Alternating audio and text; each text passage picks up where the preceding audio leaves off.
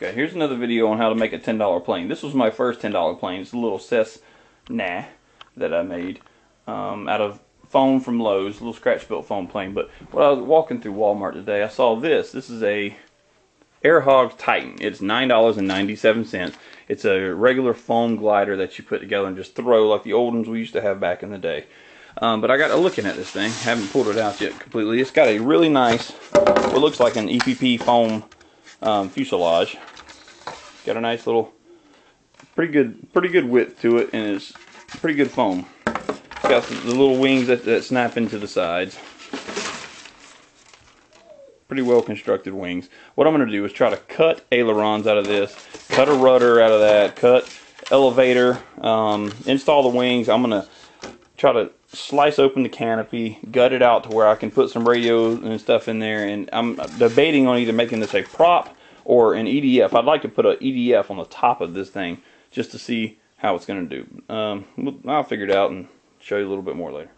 All right, here's the next step. You got to cut some elevators out of this uh, rear stab, and you got to cut some ailerons if you want. I'm not sure that this plane would fly without ailerons um, because it is a pretty flat-winged plane. It glides fine, but uh, I don't believe it would stay upright. So my suggestion is cut some ailerons out. Which you can see right here, um, I'm taking just a regular wing like this.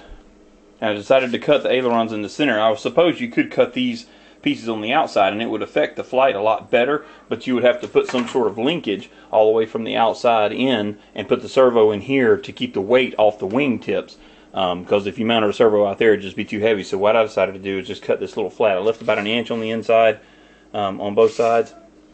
Cut here I'll show you on this one it's a little easier cut your surface out that you want just a straight line and then on the sides cut one of them on a 45 you see right there I left the front piece flat and then cut the back one on a 45 and then you tape the top fold it once you tape the top fold this all the way over like so. Tape the back of it. As you can see I don't know if you can see that tape or not but anyway tape the back of it completely. And then when you fold it back you've got a pretty perfectly functional control surface. And same thing with the aileron. Perfectly functional. That tape will hold. I plan on fiberglass in the whole plane anyway. You don't have to but it makes it a lot tougher holds it together. If you were um, accidental landings as I call them um, it, will hold together a lot better if it's fiberglass okay here's what I got I've got the motor mounted got the elevators hinged don't have them hooked up got the ailerons hinged. Got the radio installed. There's I got one antenna poked out each side.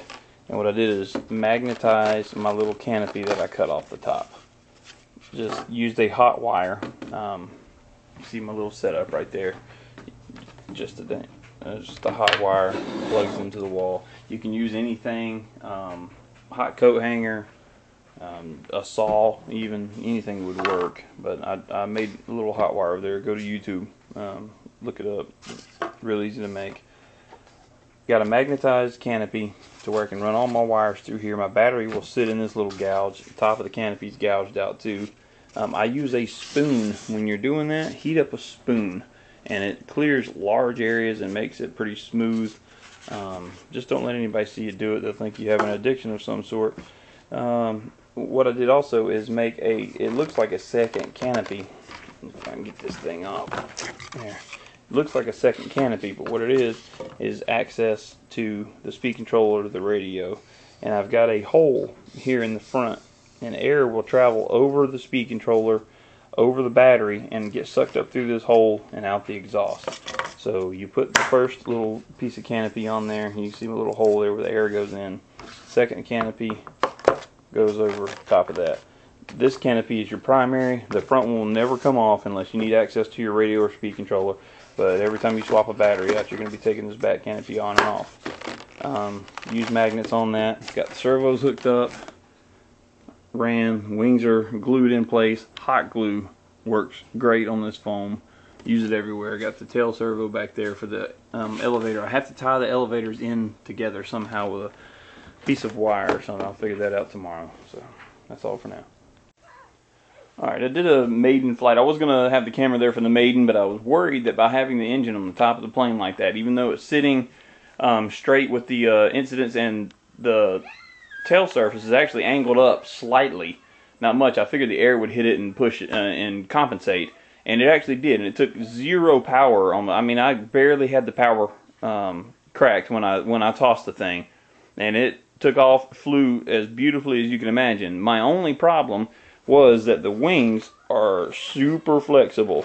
Um, so much so that I felt that if I had pulled back at all, um, they would have broke right off. So I'm going to take it and reinforce it with some carbon fiber up underneath, tape it, and um, that should correct all the flex problems, but I couldn't ask for a better flying plane.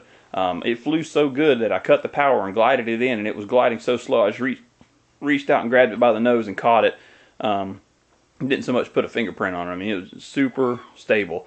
And I was wrong about the dihedral. It does have a pretty significant amount of dihedral, which makes it a really, really good trainer for people just getting into EDFs. Um, well, I'll get the carbon fiber in there and show you a little bit later. Alright, this is just a quick demo on how I do my carbon fiber in the wings. You can see I've got this side already done. I used uh, a soldering iron to burn a groove in there. Just draw a line wherever you want it. Try to keep your CG right. So I've got just about as much behind the, the CG that I do in front of it. Um, anyway, take a soldering iron, burn a groove in it, lay some hot glue down in there, glue your carbon fiber rod in place, and then run a piece of this packing tape with the uh, fiber in it. Um, because just the tape alone will provide enough strength to keep that wing from breaking or bowing very bad. You can notice just by putting one or two pieces of tape on there that it'll stop the wing from bowing for the most part. But I always like carbon fiber because it doesn't weigh very much and it's extremely strong. But anyway, um, I've got this. I use these little butane ones with the, uh, a round tip in it. You can use whatever you want, uh, the pistol grip style. You can use a hot coat hanger if you want. I've done that before. But uh, you can see I've got my line drawn up in there and what I'm wanting to do is run it up in the fuselage just a little bit. So I'll burn a small hole up in there and then take this and just run it down that line. About a quarter of an inch deep is all you need. Um, I'm using hollow thin wall tube. Anything more than that is uh, overkill. It adds extra weight to the plane that you don't need. You don't want to fill this gap up with hot glue um, because if you if you think one stick of hot glue is probably cutting it close to a half an ounce or so. So the more hot glue you, lose in, you use in a plane, you don't realize you're adding weight, but you are. So just use the minimal minimal amount of hot glue necessary to get the job done. And uh, that's it, but I'll show you one other little thing I do. Is very hot. I've got a stone table, I can do that. Don't do that to your table. If it's not stone, your wife will have you. Take a coat hanger.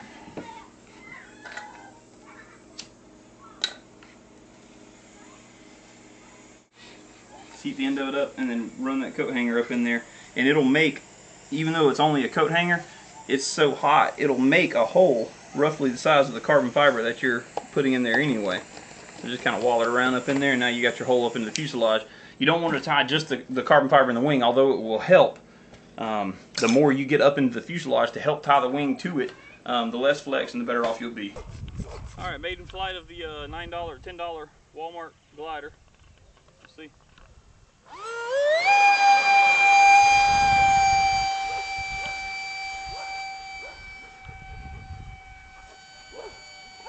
Stable and slow.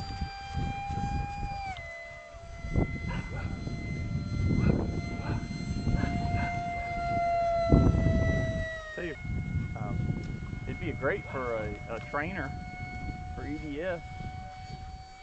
Looks like it'll still be somewhat aerobatic. It is a glider by, by trade, so I'm assuming it'll glide. That's dead stick. It falls in the wind.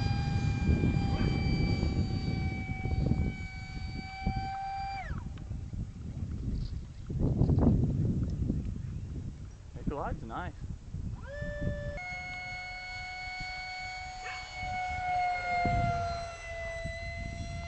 The handle's nice. It's, it, it, it flies like a trainer because of the uh, dihedral in the wings.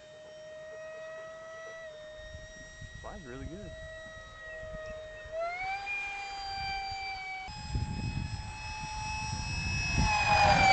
That tail fluttering on it? Uh-huh. that thing was moving an inch up and down. I have to uh, put some carbon fiber in that tail. It had a wicked flutter.